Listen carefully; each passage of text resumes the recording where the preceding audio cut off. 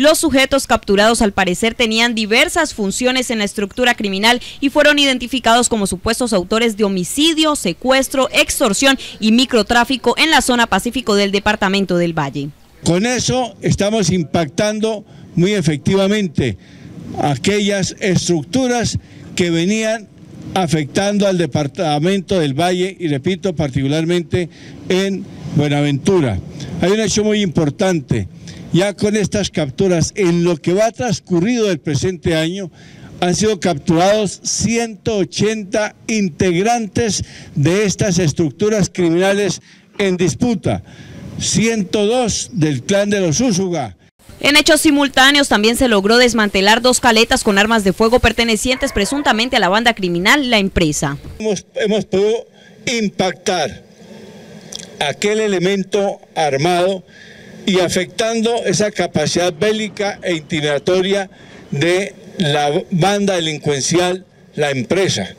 Se han incautado 18 armas de fuego, entre las cuales se encuentran dos fusiles, escopetas, pistolas y revólveres. El general Palomino también se refirió a las acciones que podrían correr aquellos uniformados que sean sorprendidos en actos políticos durante la jornada de elecciones presidenciales. Hombre, la policía tiene todos sus mecanismos investigativos, tiene sus mecanismos de control interno y lo más importante, es depositaria de la confianza, de la credibilidad y del aprecio de los colombianos. Yo estoy seguro que si un ciudadano llegase a apreciar a un policía en actividades políticas, no duda un instante en denunciarlo.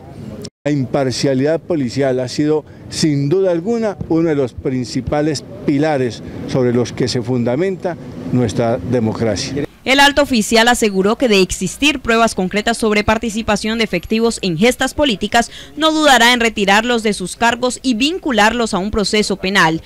Dicho anuncio se hizo después del señalamiento del candidato vicepresidencial de la Unidad Nacional, Germán Vargas Lleras, sobre el posible apoyo de fuerza pública a la candidatura de Óscar Iván Zuluaga.